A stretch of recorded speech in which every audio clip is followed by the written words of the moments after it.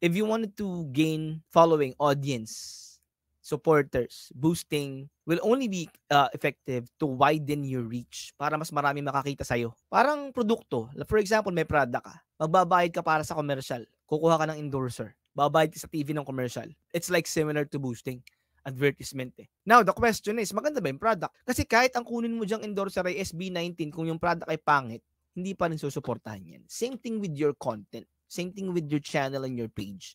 Kahit pa anong boost mo dyan, kung pangit yung ina-upload mong content, hindi ka pa rin susuportahan ng tao. So still, you have to go to the basics and learn how to create content. Correct? Now, if you're already ready, feeling mo, ay, maganda yung content ko, very confident ako, marami itong tutulungan, kailangan ko lang mabigyan ng opportunity. Sige, babayad ako para mas dumami yung reach ko. Mag-subscribe sa akin itong mga to. Pero kasi yung magpapapromote ako sa mga ganito para i-follow. Guys, again, yung mga nandyan sa mga paangat na yan, yung mga nandyan sa mga umaasa na mapopromote din sila, yan ay nandyan lang kasi umaasa silang mamamonetize din sila. They're not there to support. They are there because they also wanted to get monetized. So sooner or later, hindi na rin manonood sa mga yan because they are also focused on creating content. Because they also wanted to earn. Sila na mismo sasabi, hindi naman tayo lahat full-time content creator.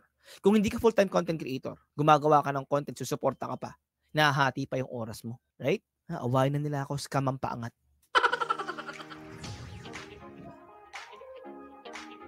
Kaya sige, dalhin niyo yung paangat sa Facebook. May team paangat na. Woohoo! Tingnan nyo.